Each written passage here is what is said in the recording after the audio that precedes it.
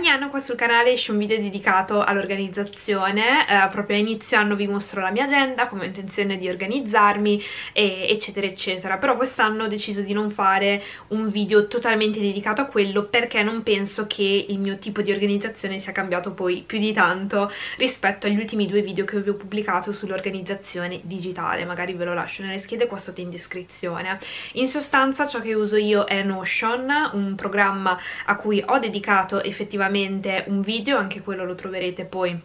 in descrizione uh, per pianificare insomma un po' tutto quello che riguarda la mia vita. Quindi non utilizzo un'agenda cartacea non utilizzo nemmeno più il Kakebo cartaceo nonostante io continuo a utilizzare il metodo uh, Kakebo quindi per segnare le spese di casa, le spese personali per porsi degli obiettivi uh, di risparmio eccetera. Volevo giusto farvi vedere un paio di cose che ho cambiato su Notion dedicate all'organizzazione in generale eh, più passa il tempo più mi accorgo di quanto io necessiti di un metodo veloce, minimale e proprio terra terra perché non ho tempo da perdere nel modificare, fare cose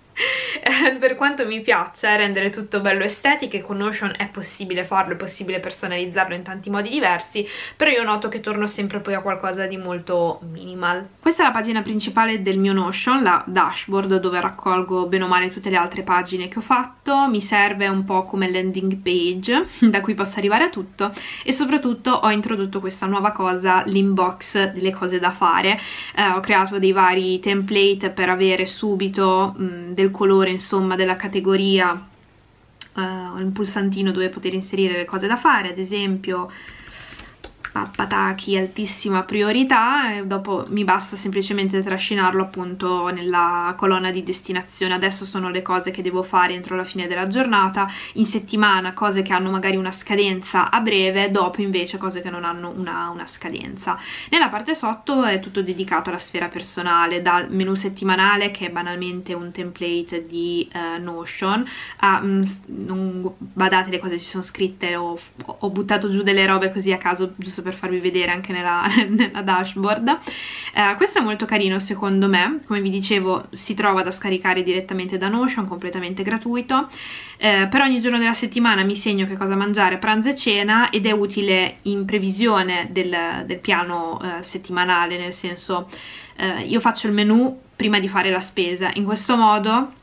per ogni piatto che voglio cucinare in settimana so che cosa è necessario avere quindi per questo c'è la lista della spesa. Sono gli ingredienti che servono per fare i piatti che ho segnato eh, nel menu. Poi fra gli hobby ho l'infinita wishlist di cose che eh, necessito non sono mm, soltanto sfizi, alcuni sì ma principalmente sono cose che servirebbero eh, in casa più o meno grandi. Viaggi non l'ho utilizzato tantissimo però ad esempio quest'estate ve l'avevo fatto vedere in un vlog ehm, avevo organizzato un po' le cose da vedere a Bergamo quando abbiamo fatto la gita fuori porta e soprattutto per Budapest. La watchlist è eh, un raccoglitore di serie tv, anime, film che sto guardando mi piacerebbe curarla un po' di più quindi anche qua è un po', un po', così, letture invece, che cosa leggerò nel 2022, adesso ho segnato un po' dei libri del gruppo di lettura, c'è poi il mega catalogo della mia eh, libreria, ho catalogato praticamente tutti i libri che ho in mio possesso col titolo, autore, letto, non letto, interrotto, ho inserito anche il vuoto e una lista veramente infinita. Ho fatto la stessa cosa anche per eh, i manga e i fumetti occidentali. Stessa cosa per i manga ho semplicemente segnato anche quelli che ho letto e quanti volumi ho a casa in modo da poter avere sotto mano una lista in previsione di acquisti ho anche un calendario ma lo utilizzo soltanto per overview, di solito se ho delle cose con una scadenza metto il promemoria direttamente sul calendario del cellulare.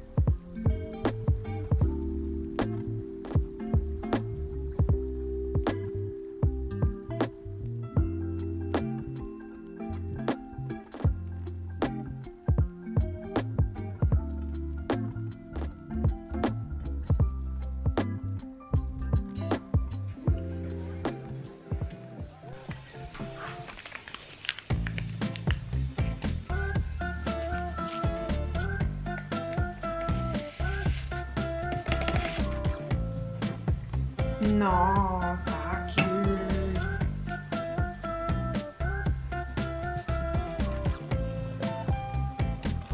into the place, dispatch you from a ways. My heart, it started racing. The crowd across the way, that was on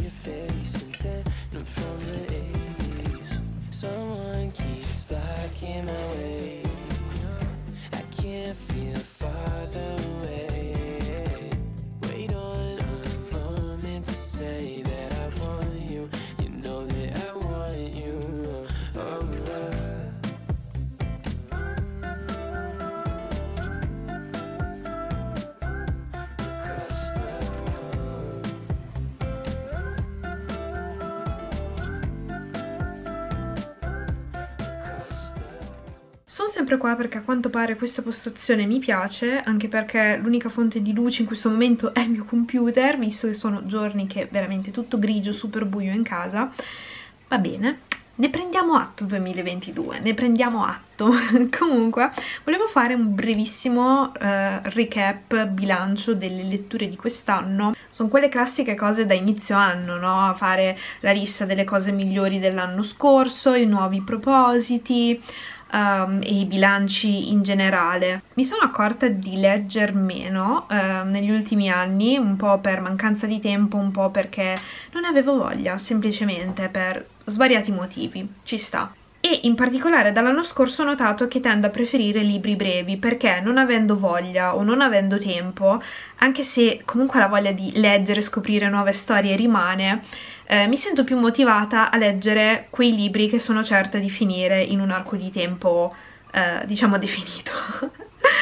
non come iniziare magari Il Signore degli Anelli e sai quando inizi, non sai quando finisci, no? Eh, io ad esempio ci ho messo quasi un anno a leggerlo,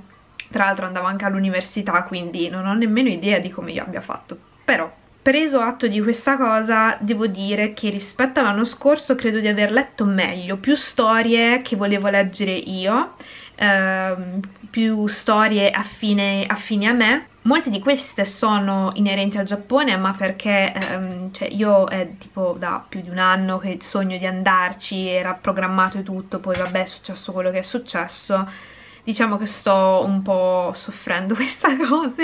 e viaggio, viaggio con la mente e poi ultimamente mi ritrovo in alcune dinamiche, pensieri, filosofie che traspaiono molto dalle storie eh, giapponesi. Banalmente uno dei miei libri preferiti di questo 2021 eh, è stato Le ricette della signora Tokue perché all'inizio ha una buona parte descrittiva proprio della preparazione dei dorayaki e anche della eh, marmellata di fagioli rossi, una cosa abbastanza tecnica ma io adoro quando gli autori si soffermano anche su quelle piccole cose e le celebrano come se fossero cose straordinarie nonostante riguardino proprio la quotidianità e nel caso ad esempio di questo mestiere qualcosa anche di, di meccanico no? che viene ripetuto. E invece raccontandolo in questo modo è come se ogni volta fosse speciale eh, in particolare raccontato dal punto di vista di questa signora particolarmente appassionata non so, è qualcosa che mi ha fatto sentire molto a casa e noto che sto ricercando molto di più storie eh, riguardanti la vita quotidiana e che sono in grado appunto di farti capire che la vita che stai vivendo, anche se è priva, che so, di viaggi, di eventi straordinari, è una vita speciale,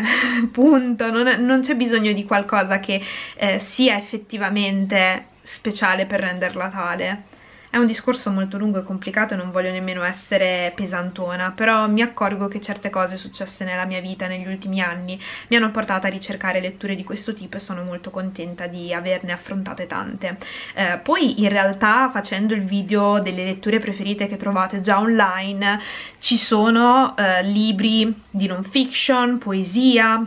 Uh, c'è un'autobiografia che mi è piaciuta tanto, anche un fantasy, quindi dai, nel mio piccolo ho cercato comunque di, di variare un po' e sono soprattutto contenta di aver trovato letture belle, anche per i fumetti banalmente ne ho letto diventata rossa per schermo del computer. Eh, ho letto tanti fumetti secondo me più belli rispetto all'anno scorso perché ho letto tante storie che hanno saputo eh, emozionarmi per un motivo o per l'altro. Anche in questo caso molte di queste storie affrontano la, la quotidianità. E mi sono accorta che ho letto anche tante storie che magari sono iniziate e sono anche finite quindi miniserie. Sono molto contenta. Da chi poverino non sta tanto bene e quindi affronta così lui le sue giornate, se la dorme. è ciambellato tutto così in questo angolino che glielo finalmente liberato durante le feste, ho sistemato un po' la libreria, avevo riempito tutto di libri qua, adesso è tornato nel suo posticino. Non ho fatto in realtà grandi cambiamenti, semplicemente ho tolto tutti i fantasy e rimessi in ordine alfabetico, non so se sia una cosa ok o meno, ce ne sono poi un po' anche, anche là. Eh, per quanto riguarda i fumetti sono abbastanza soddisfatta così. Ho sistemato anche i libri giapponesi provando a sistemare per editore perché purtroppo facendo la cosa dell'ordine alfabetico che era la cosa che volevamo fare io e mio marito per la libreria no, non si possono fare queste colonne qui che sono una manna dal cielo in assenza di spazio quindi abbiamo raggruppato per um, editore, stessa cosa abbiamo provato a fare circa eh, qui, in realtà abbiamo diviso più che altro per autore perché qua è praticamente tutta Agatha Christie, poi c'è um, Arthur Conan Doyle e questa serie che sta seguendo mio marito, abbiamo comunque mantenuto la divisione per generi o argomenti, quindi gialli, thriller, narrativa generale, tutto Giappone, i fantasy, eccetera sotto ci sono chiaramente i fumetti anche questi sarebbero da sistemare un po' meglio però per adesso ce lo facciamo andare bene così anche perché abbiamo passato un botto di tempo a cercare di sistemare e poi a vederla così non sembra nemmeno cambiata però va bene. Adesso mi sa che mi cambio velocemente per fare yoga. Come l'anno scorso ho deciso di seguire la challenge di 30 giorni di yoga with Adrienne. Lei ogni giorno mette sul suo canale eh, youtube un video diverso con un piccolo programma da fare, abbastanza semplice devo dire, anche se quello di ieri mi ha fatto faticare parecchio perché sono ferma da veramente tanto tempo, quindi devo riprendere un po', però mi sembra abbastanza alla portata di tutti, anche quella dell'anno scorso secondo me era molto fattibile e quindi l'ho presa come una scusa per motivarmi a fare un po' di allenamento, soprattutto per riprendere pian piano a fare, eh, a fare qualcosa. Anche sistemare un po' i capelli perché prima sono andata a buttare l'immondizia e ovviamente ho preso il diluvio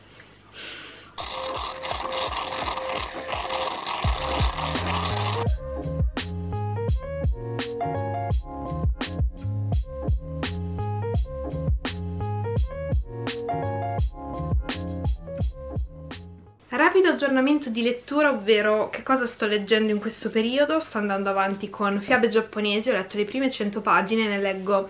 almeno due o tre la sera, quando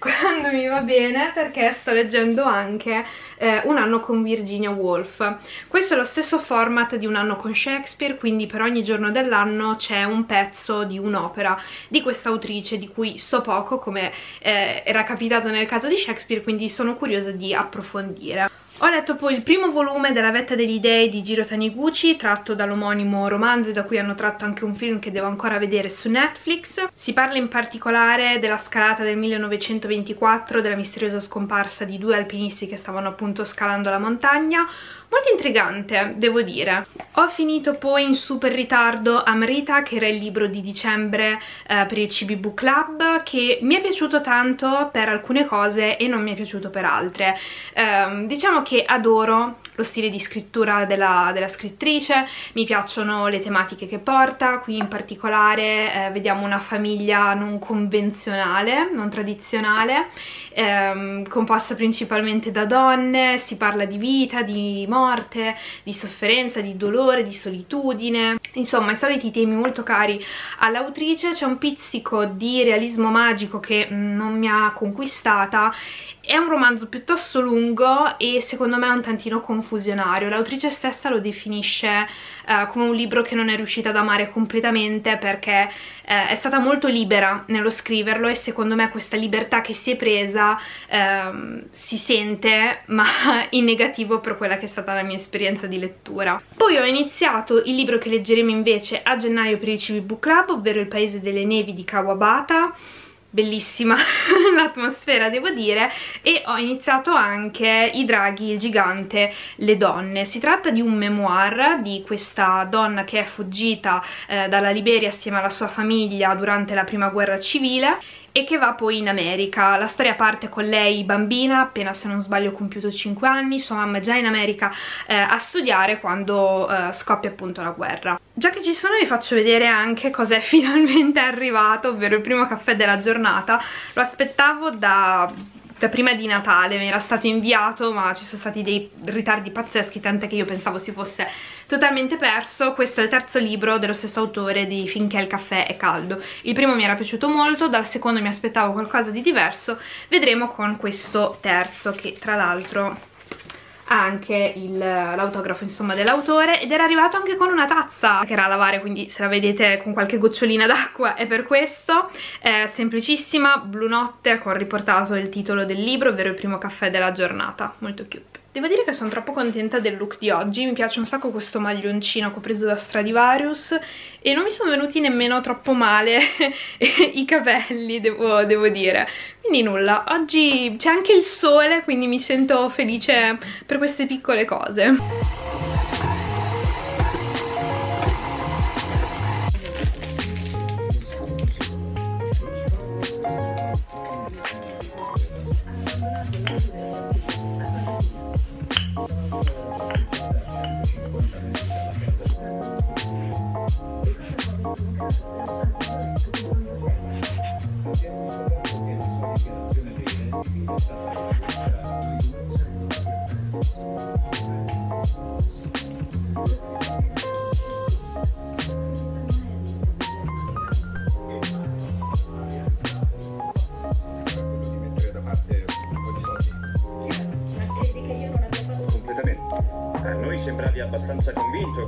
Abbastanza convinto